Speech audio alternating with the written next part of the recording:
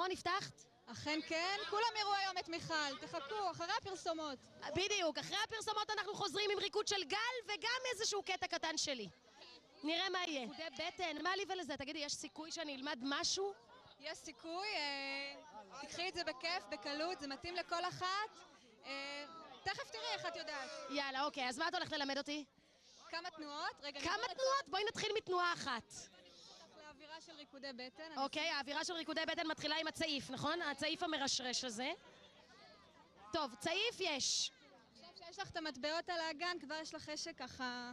לך יש חשק, את מתכוונת. הנה, את רואה? את עושה לבד. אוקיי. אוקיי, אז בואו נתחיל. תנועה ראשונה, תנועת השימי. תנועת השימי? איזה שימי? שימי. תבורי? כן, זה התנועה. שימי תבורי, כן. זה התנועה הזו, עכשיו אני אסביר איך עושים אותה. קדימה. קדימה, קדימה, קדימה, קדימה.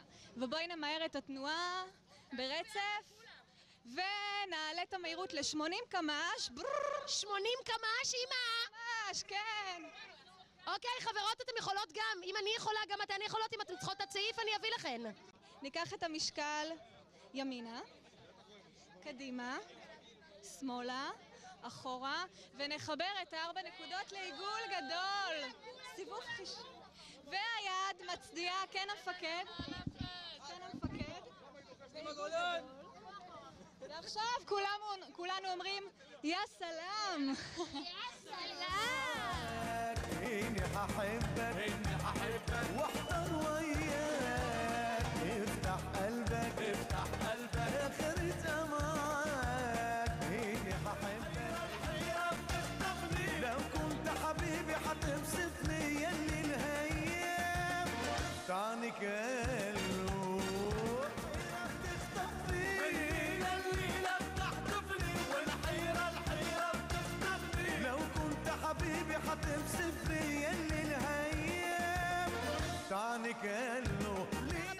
בהצלחה גדולה עם כל ההופעות. מקווה שלמדת משהו? משהו למדתי. תודה רבה.